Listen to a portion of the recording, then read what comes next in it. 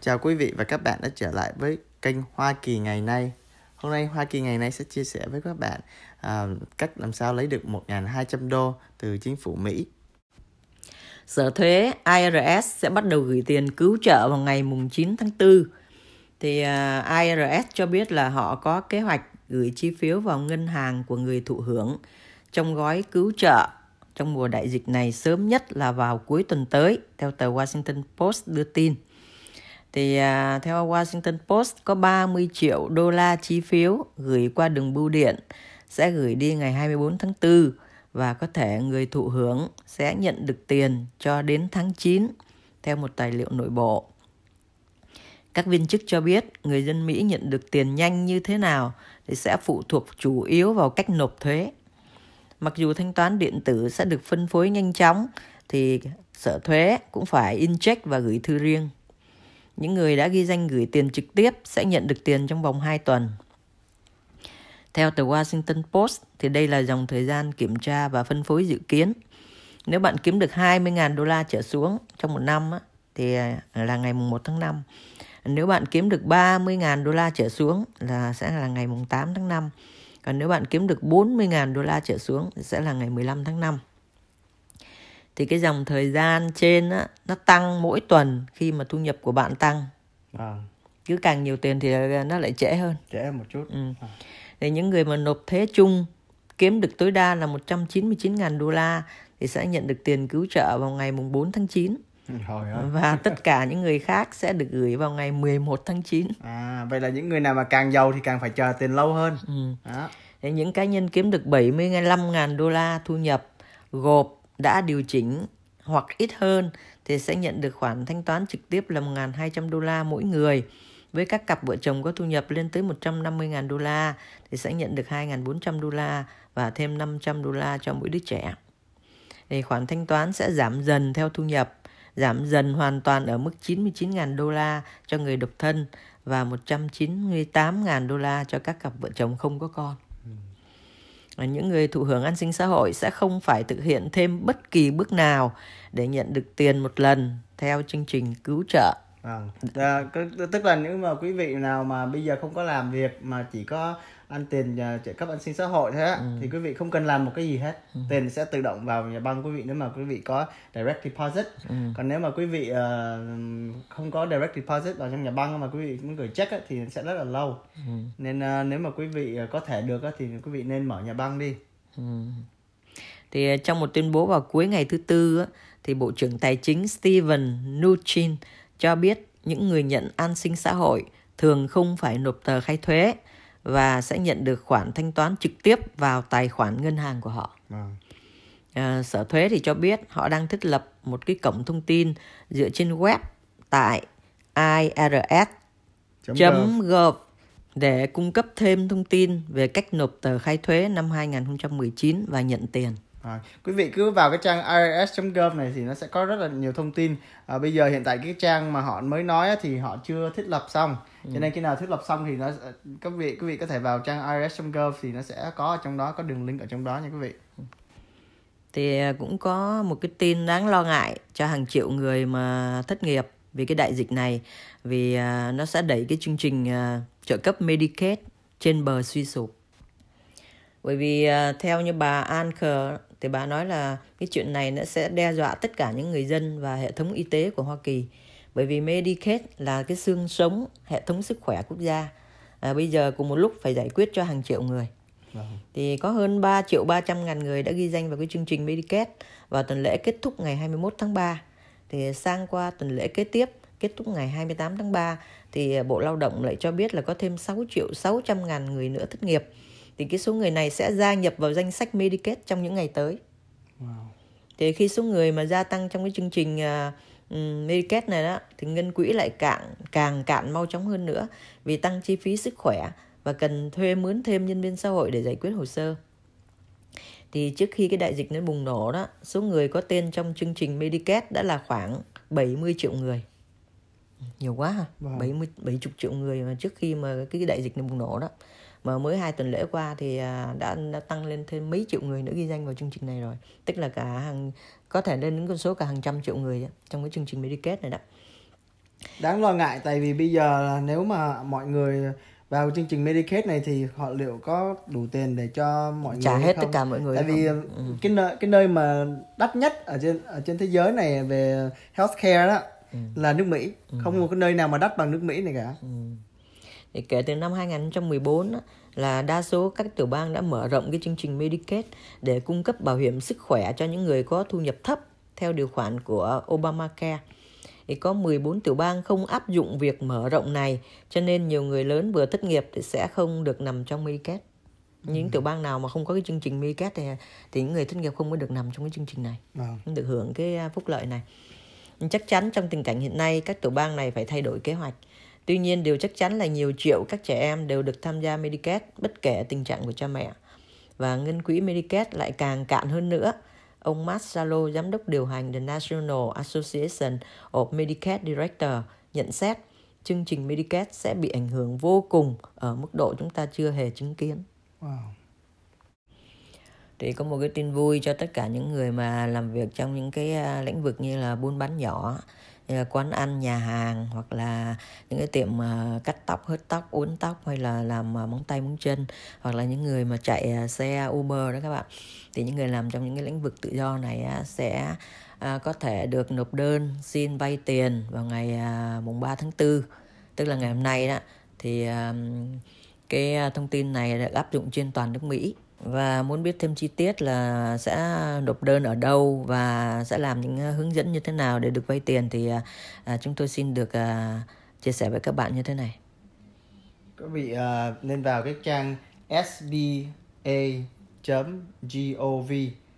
S giống như là S Sài Gòn vậy đó. B như là B bò E A đó SBA à, SBA đó chấm gov. Và chúng tôi sẽ để cái link này ở bên dưới để cho quý vị nào mà không nghe kịp đó quý vị có thể bấm vào để mà à, điền cái đơn để mà xin à, vay đó quý vị. Ừ. đó thì ờ, cái ờ, chương trình vay này nó cũng đơn giản thôi. Bắt đầu ngày hôm nay thì họ bắt đầu họ sẽ ờ, process những cái ờ, đơn nộp đó. Thì ờ, quý vị nên làm càng sớm càng tốt. Thì quý vị sẽ nhận được tiền ờ, trong thời gian sớm nhất có thể khi mà quý vị vào cái trang này á, thì ờ, nó sẽ có một cái nơi gọi là apply for paycheck protection program find a lender. Ờ, thì quý vị ờ, có thể bấm thẳng vào cái ờ, nút find a lender. Xong rồi sau khi mà quý vị bấm vào cái nút find a lender rồi á thì nó sẽ hiện lên cái zip code.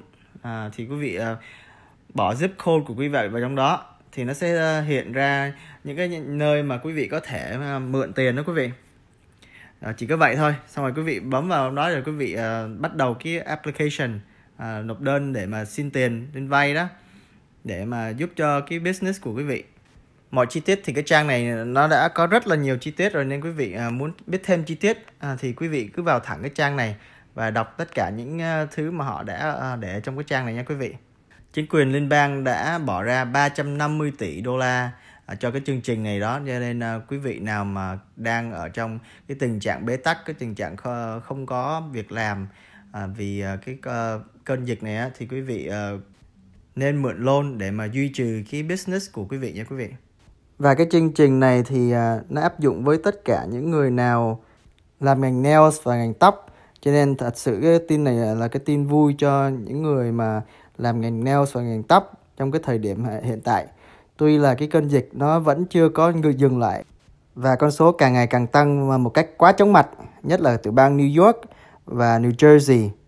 À, mong à, là mọi người sẽ sớm vượt qua cái đại dịch này Thì à, cũng trong tin tức ngày hôm nay đó các bạn thì ngoài cái việc mà những người tiểu thương, những người làm nghề buôn bán tự do đó thì à, được vay tiền thì họ cũng còn có thể à, nộp đơn để mà xin tiền trợ cấp thất nghiệp.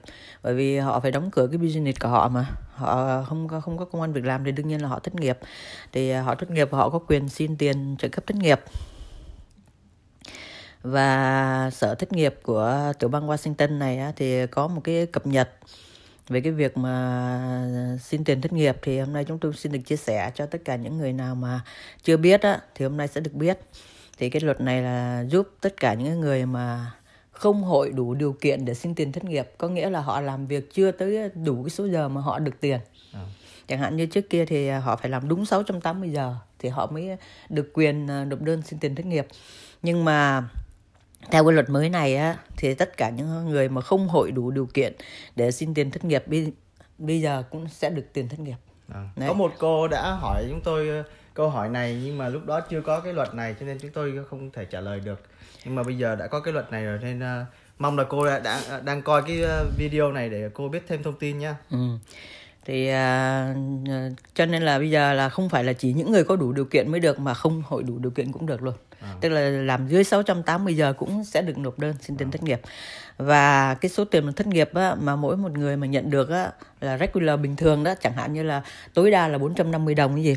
Thì bây giờ mỗi một tuần được thêm 600 đồng nữa. Theo lời của ông um... Nick Demiris uh, Demiris hay Demaris gì đó uh, của Employee Security Department. Ờ, trước đây các bạn có những cái thông tin ờ, cho rằng cái mỗi một tuần lễ nhận tối đa là 450 đô la tiền thất nghiệp thì bây giờ sẽ nhận được 600 đô la. Thế nhưng mà không đúng các bạn. Bây giờ thì cái ông ờ, mà chuyên phụ trách về tiền thất nghiệp đó từ bang Washington này ông nói đó, ngoài những cái tiền mà mình nhận regular tức là nhận bình thường đó thì bây giờ mình còn nhận được thêm 600 đô la mỗi tuần nữa các bạn. Và cái số tiền này á, bắt đầu nhận được tính từ ngày 29 tháng 3 tới ngày 31 tháng 7 và trợ thất trợ cấp thất nghiệp sẽ được kéo dài thêm 13 tuần lễ nữa đó. tức là tối đa là mỗi một người sẽ sẽ được hưởng trợ cấp thất nghiệp khoảng 39 tuần 39 à. tuần tức là khoảng ờ, hơn 9 tháng thì À, cái cái cái cái việc mà kéo dài ra như vậy để đáp ứng với cái nạn dịch đang hoành hành tại tiểu bang Washington đó các bạn. Trước kia mình chỉ được tối đa khoảng 6 tháng thôi. Giờ được 39 tuần tức là được thêm 3 tháng nữa đấy. Vâng. kéo dài thêm 13 tuần lễ nữa là hơn 3 tháng nữa rồi và những cái những cái người mà nhận tiền thất nghiệp đó thì vẫn được nhận cái số tiền là 1.200 đô la từ chính quyền liên bang chứ không phải là à, họ nhận tiền thất nghiệp và họ không được nhận tiền này Vâng. Có vẫn... nhiều người ta vẫn hỏi mình cái câu hỏi đó. Ừ. Vậy à, có thể nhận tôi đang nhận tiền thất nghiệp tôi có thể nhận được uh, cái tiền mà ờ, chính phủ cho đó không ừ. là một hai trăm đô đó không ừ. thì bây giờ có câu trả lời cho quý vị rồi nha quý vị ừ. miễn sao mà mình ở dưới cái mức họ quy định dưới à. cái mức tối đa mà tiền mình kiếm được là mình sẽ nhận được một hai trăm đô vâng. cộng thêm với tiền thất nghiệp của mình nữa Vâng. mà tiền thất nghiệp thì còn được thêm 600 đồng mỗi tuần nữa vâng. đấy cho nên là đây cũng là một cái tin vui cho tất cả những người mà đang trong cái tình trạng khó khăn về vì bị thất nghiệp đó Yeah, thì à, cũng có nhiều người hỏi là khi nào mà cái việc mà nhận thêm 600 đồng mỗi tuần với tiền thất nghiệp thì sẽ bắt đầu. Thì à, cái um, việc này á thì là à, sở thất nghiệp cũng như là đang uh, phối hợp với sở lao động đó để mà có cái kế hoạch À, làm cái việc này. Và việc này có thể là sẽ bắt đầu trong vòng 2 tuần hai tuần tới nữa tức là bắt đầu vào khoảng giữa tháng tư ạ. À thì à, nếu mà các bạn mà hội đủ điều kiện để xin tiền thất nghiệp à, trước cái ngày mà à, cái luật này được thông qua đó thì ngày à, tức là ngày 29 tháng 3 đó mà chưa điền đơn thì à, xin các bạn điền càng sớm càng tốt. Bởi vì điền sớm thì mình nhận được sớm. Vâng. còn những người mà không hội đủ điều kiện để xin tiền thất nghiệp thì vẫn nhận được cái uh, tiền thất nghiệp này. Nhưng mà hiện nay thì uh, phải chờ bởi vì chờ sở thất nghiệp chưa có một cái hệ thống để nhận nhận đơn của những người này vâng. vẫn được nhận nhưng mà phải phải trễ hơn những người mà có đủ điều kiện tại vì họ đang uh, sửa lại cái website của họ để cho tất cả mọi người có thể apply được có thể nộp đơn được ừ. Thế còn những người nào mà đã nhận được tiền thất nghiệp uh, trước khi có cái lệnh này đó thì bây giờ có nhận được thêm 13 tuần và 600 đồng nữa không? Thì câu trả lời là có. Đó tức là họ vẫn nhận được 600 đồng sẽ được cộng thêm vào cái khoản tiền mà trước kia họ chân chưa có nhận được. Và họ vẫn được hưởng thêm 13 tuần kéo dài thêm nữa. Đó, tức là cho, họ được nhận tiền thất nghiệp cho đến khi nào đủ 39 tuần. Tính à. cho tới ngày 31 tháng 12 thì mới hết.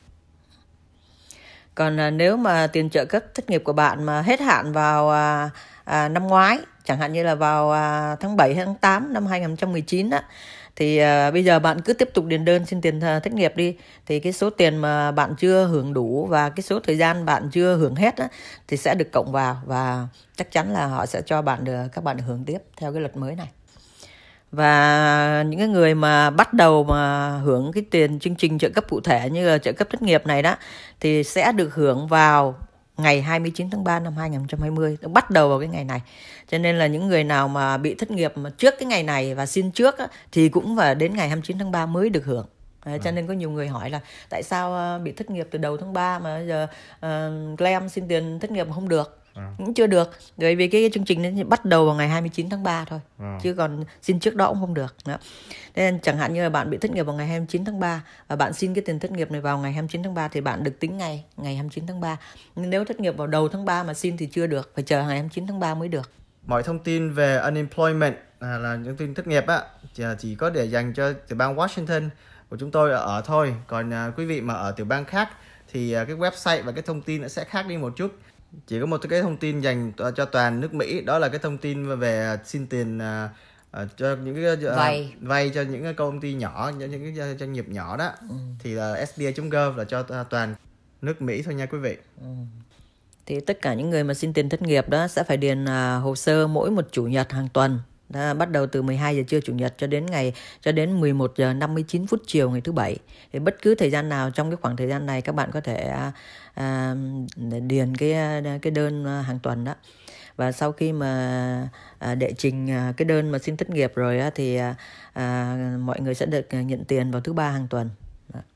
Cho quý vị nào mà ở tiểu bang Washington thì cái trang website này là esd.wa.gov esd.wa.gov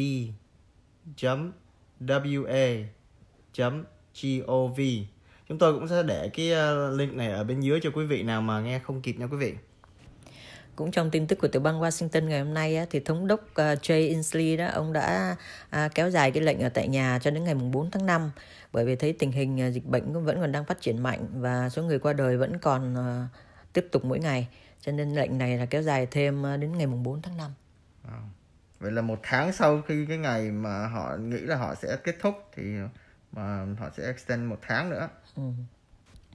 Nhưng mà chỉ ở tại nhà đối với những cái người mà không có làm những công việc cần thiết thôi. Còn đối với những cái à, à, thương mại cần thiết thì vẫn được mở. Chẳng hạn như là những cái nhà hàng bán đồ ăn nè hoặc là những cái dịch vụ về y tế đó đi mua thuốc hoặc là đi nhà băng hoặc đi đổ xăng ấy, thì vẫn tiếp tục được mở.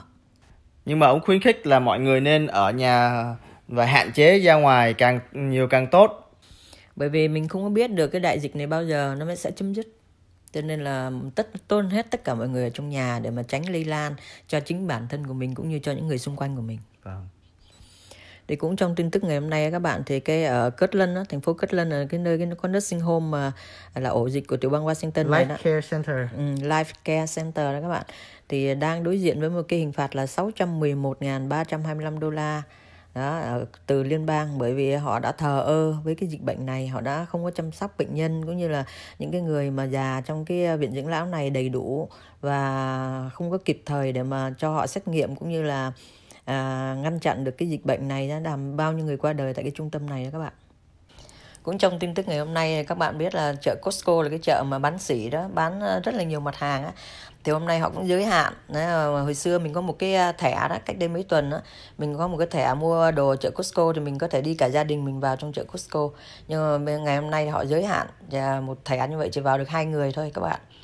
Và khi mà mình vào trong chợ mình mua đồ đó thì mình cũng phải giữ một cái khoảng cách an toàn là 6 feet chứ không phải là như trước kia là mình vào mình cứ việc à, đi nơi đông người nơi à, va chạm vào nhau cũng được thì bây giờ không được. Cách nhau 6 feet các bạn. Và tất cả những mặt hàng trong chợ Costco đó họ cũng giới hạn. Chẳng hạn như là à, trước kia mình đi mình à, mua những cái bịch tôm đông lạnh á các bạn.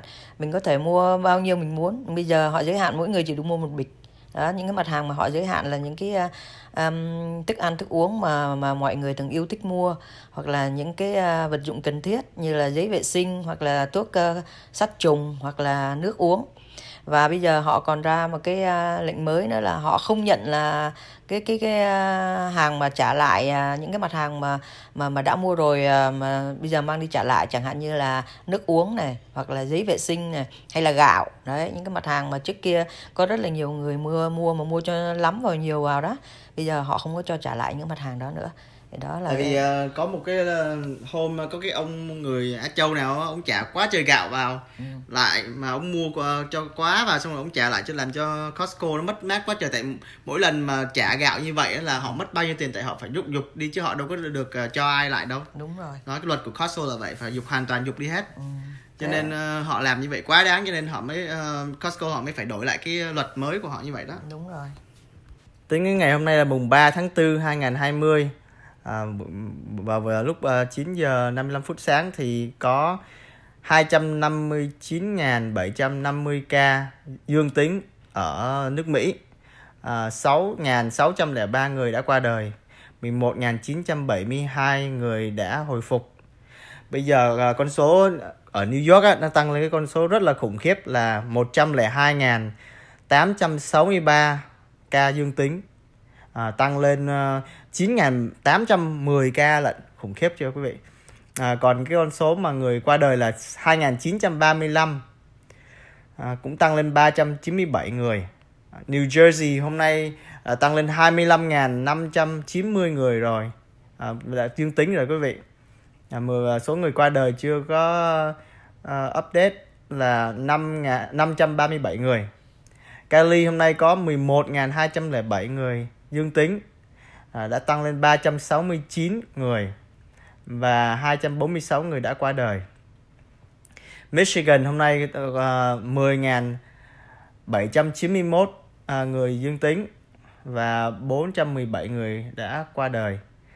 Florida 9.585 uh, ờ, ca dương tính và 163 người đã qua đời. Louisiana 9.150 người dương tính và 310 người đã qua đời. Massachusetts 8.966 ca dương tính và 154 người đã qua đời. Pennsylvania 8.420 ca dương tính và 102 người đã qua đời. Illinois 7.695 ca dương tính và 157 người đã qua đời. Washington 6.585 ca dương tính và 272 người đã qua đời.